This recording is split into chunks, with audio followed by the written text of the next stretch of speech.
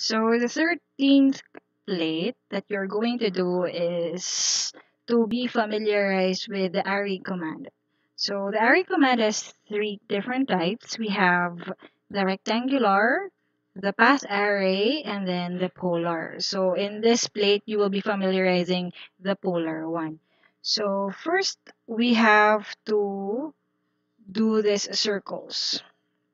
Let's start with the 19 and the 16 diameter. So let's first create the center point. I'm going to use a construction line for this one.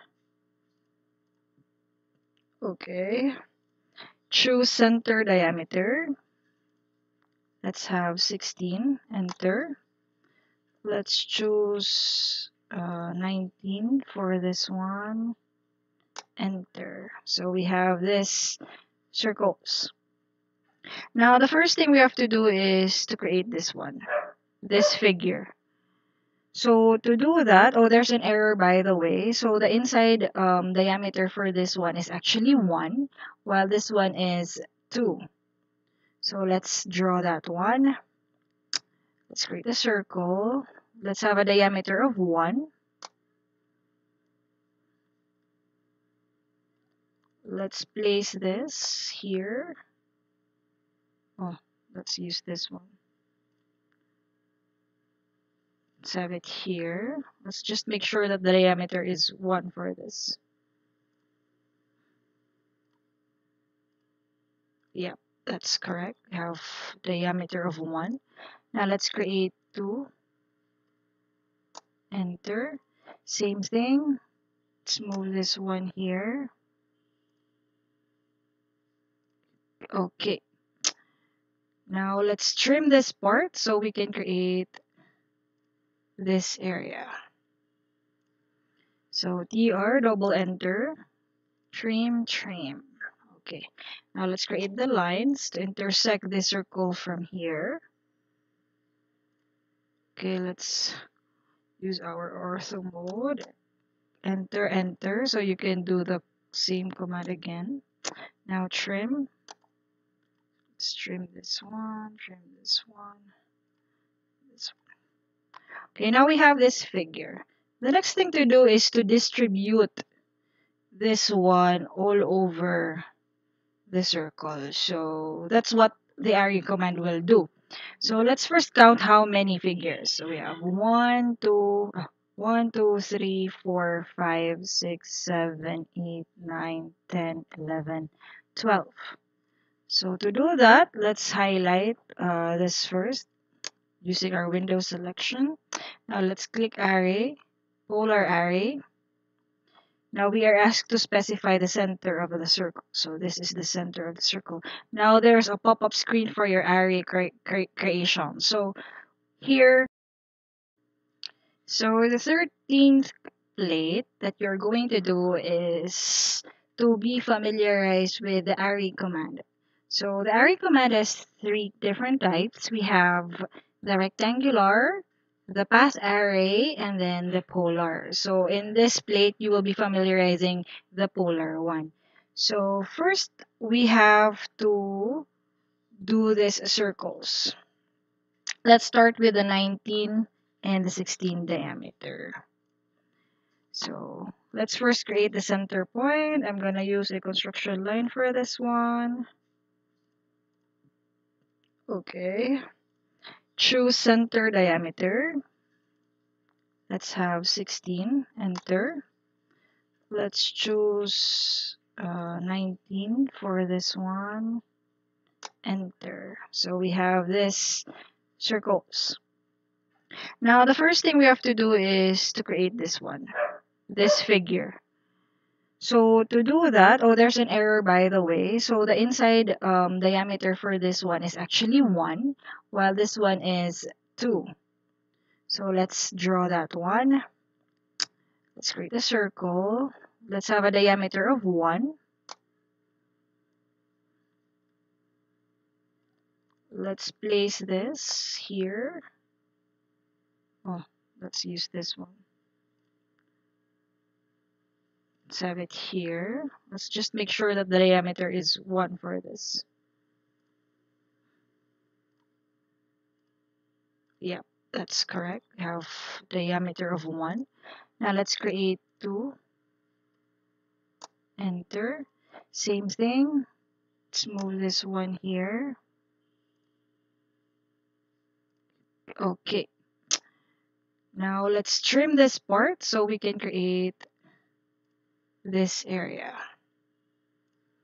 So tr double enter, trim, trim.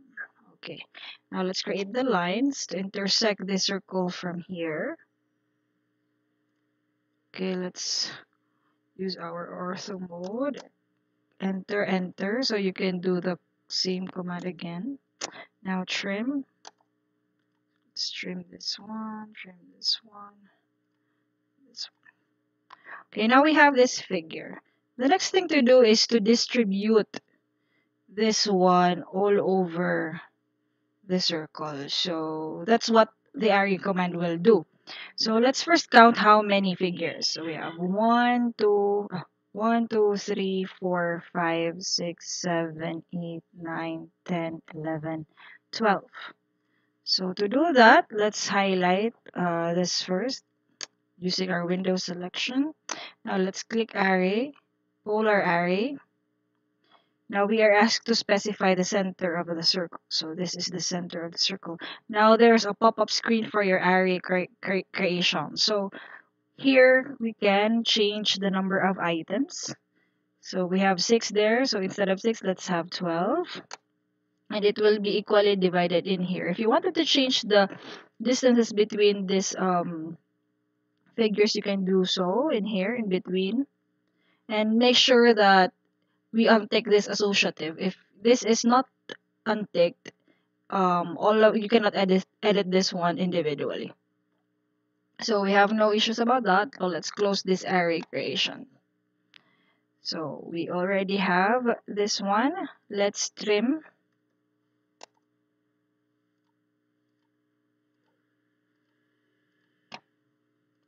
Let's trim this area.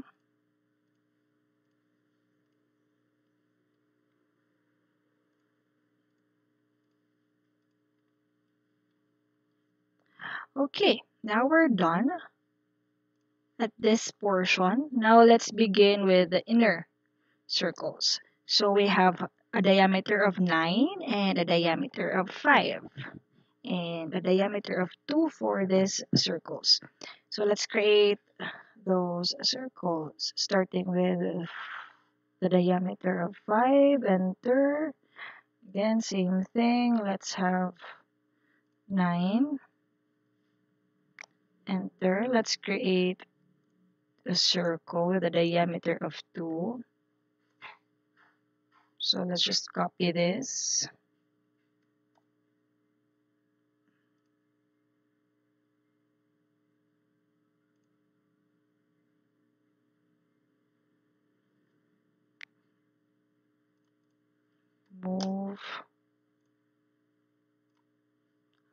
So you see what I did there? You should undo that one to make sure that you actually click the center of your circle. So for that to be distributed again in this um, circle, the circle with the diameter of 9, let's highlight this one, then choose the polar array again. And click the center of the circle. So there are how many? Oh, six. So we're good. So just close the array. And I think we are done with our figure.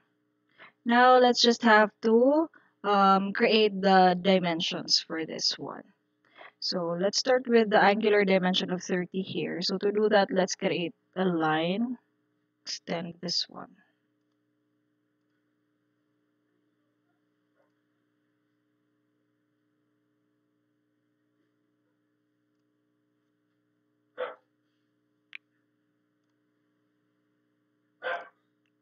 Oops, forgot the ortho again.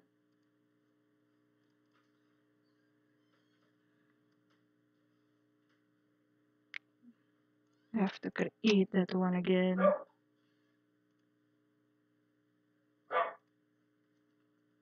Delete, delete this one. I'll try to extend that it will not create any um, changes with our angle because our angle should have a reference point. Okay, so we have that. Again, let's do the dimension. Oh, there we have it, the 30 degrees. Okay, the next thing to do is the dimension of these circles. But before that, if you can observe in our figure, this line actually doesn't exist. And same as this one. I mean line circle. So we have to create it in like a hidden line. So to do that, you highlight this one, you select that one, then choose hidden line. If you don't have that option, if you don't have that um, option here, you can just go here as others and then load and you can find hidden lines here. This one. Actually have it already, so cancel. I have this one. So again, you highlight this one and choose the hidden line. So if you can see, it's broken lines. Okay, so let's have the dimensions for that. Diameter, starting with the 9. Starting with the 9 and the 19. So we have the 9, enter, and click again. Next we have this one, Actually, this is 1 and we have the 2. So 1, 16, and 2. So let's have it. Enter. This one. This one. And lastly, this. The next thing is this one. This is just 2. And then for the 5. So let's have this 5 here. And there you have it, your plate number 13. So let's proceed to plate number 14 where you were going to learn about the rectangular array.